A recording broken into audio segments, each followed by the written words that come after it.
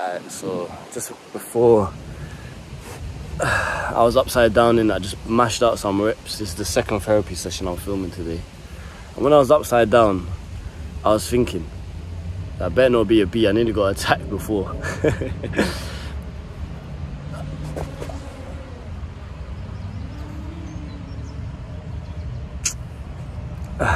you know what? I, I just clocked. It's a drone. It's a dro drone. Drone. I can't pronounce my ass properly. Drone. That's what it is. That's what the fuck it was, man. I was thinking it was a bee. I was like, what? There's like a hundred bees here. Anyways, I'm getting attacked from everywhere. As I was saying, am I scared of the future? That's the question today, my therapy session. Am I scared of the future? Short answer now is no, nowhere near as much because I'm more spiritual. I'm more what will be will be. As long as I say to everyone, as long as you're being a good person, you're working hard, you're trying to utilize your days and you're just keeping yourself to yourself, things will work out eventually. It's just links to patience, right? we want everything now, but we have to wait. Nat, Nat told me I'm a perfectionist, and I agree. I agree. Because I was telling her about me, uh, therapy session three, overworking and getting anxiety. And she's like, yes, because you're a perfectionist. And it's true, you know. And I see it now, how I meticulously plan things on my employee spreadsheets. I got employees from all over the world and I, I'm like giving them so much detail so that they can understand the foundation. They can go off and do it by themselves and everything. But how I'm planning it is just to perfection. And I think that was always my biggest problem I'm always trying to be a perfectionist, but being perfect don't exi exist, Kyri. So, for example, I could say I want to achieve da da da by within the end of 2023. Is that going to happen? Probably not, no matter how hard I work. I'm not going to achieve everything because it doesn't work like that. It links to submitting to the universe. You can only do so much every day without getting burnt out and you just say, cool, breathe, I've achieved this, this today. Tomorrow's another day, we go again that mentality alongside as i said what will be will be.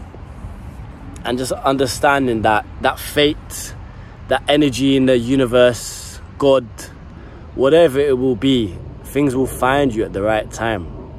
You can't go can't go chasing waterfalls i was listening to that song the other day you can't go making everything happen. You can't be controlling every single thing. You just have to let it go. I watched a video the other day. It essentially said, it a really good psychological video and essentially said, you get what you want when you stop pursuing it so intensely. Does that make sense? You just say, cool, it's going to come to me whenever. And then most likely, so they, for example, they, the, the thing was a pink elephant, right? you probably might have seen the thumbnail, it's got millions of views, like a pink elephant, and they say, I right, keep thinking about a pink elephant and try and remove the, the a pink elephant in your head. And the more you think about removing it, you can't. But when I just breathe and I do whatever, now it's gone out of my head. Can you see? It's fucking crazy how it works. And it just kind of links to, you do have to let things unfold. Are you trying your best every single day to? Yes, you are. That's, that's fantastic. And also being present as well. That's the biggest thing for me. I'm not going to allow myself to panic so much about the future. But it'll be this podcast getting a certain number of growth. Yes, I'm going to continue to post regularly. Yes, I'm going to get employees to help me. Yes, I'm going to post there, post there, post there. Yes, I'm going to see what works. Yes, I'm going to try new things. But am I going to force people to like me? Am I going to force people to subscribe to me? No. Because once they see my content holistically and they see things like this and they sit in the house and say, you know what, this guy is real, bro I like that. Let me join. It's the same thing. And it's the most important thing I want people to understand, and I learned the hard way, is essentially karma, fate, everything will sort itself out. You have to be present in your days. You have to, because you don't know what's going to happen in the future. I don't know where I'm going to end up. No one knows. Did you honestly think a year ago you'd be right now in this position you would be? you honestly think five years ago the things you experienced you'll be in a position where now where you would where you are today no because this is life and this is unpredictable and one day might be amazing another day might be amazing and the next thing you know six months down the line it's a fucking tantrum traumatic crazy experience. No one can predict anything. You cannot predict anything in the future. All you can do is control yourself and find the vision of who you want to be. And as I said before, I can see who I want to be and I'm going to work towards that every day whilst being present. So in short, I don't worry about the future anymore because I know my grandma's up there. I'm gonna start crying. I know my grandma's up there and I know I'm a good person deep down in it. And I know I try my best to help and inspire people. And I know I'm so happy. I miss the good vibes only. And I will continue being myself and being a role model to try and help people and uplift them.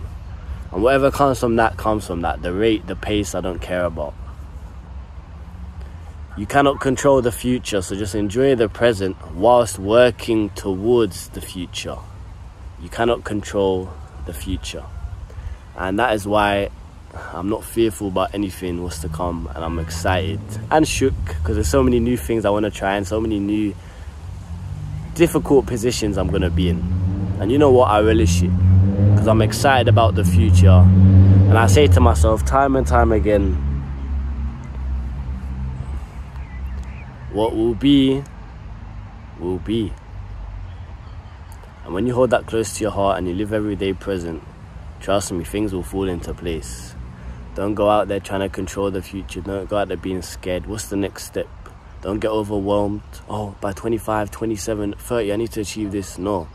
I can say for myself, before I was like that, before I used to be shit scared, I used to be so I used to be shook about the future and what was going to come. I was so scared because I didn't know where I end up, how much money will I have, what would I do be doing, am I going to be depressed? I'm like, shh, shh.